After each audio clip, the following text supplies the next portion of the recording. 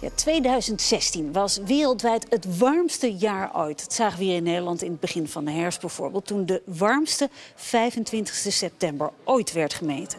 Niet gek dus dat veel mensen die dag een raampje hadden opengezet.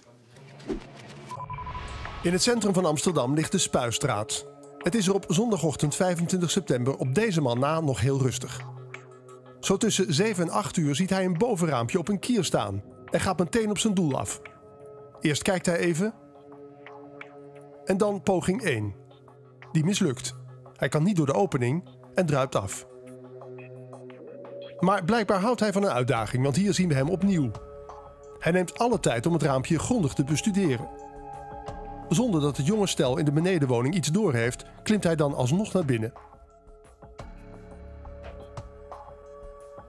En de buit is binnen. Een rugtas, horloge, twee iPhones en een portemonnee met geld. Kijk goed naar deze inbreker. Herkent u hem? Tip dan via live.politie.nl 0860 70 of doe het anoniem via M.